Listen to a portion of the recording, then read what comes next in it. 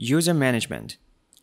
In the Settings interface, click User Management and click Add to enter the user adding interface.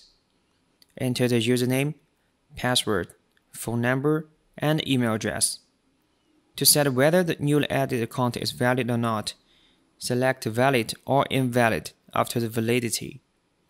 Assign authority to users according to the division of labor for newly added users.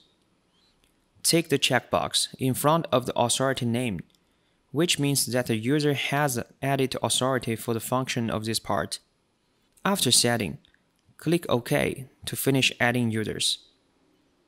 In the user list, click Edit to modify the username, phone number, email address, authority, and other information, or set this user as an invalid user.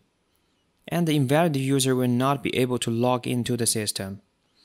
Click Delete to delete this user from the account. After the user is deleted, you can no longer log in to manage the current device.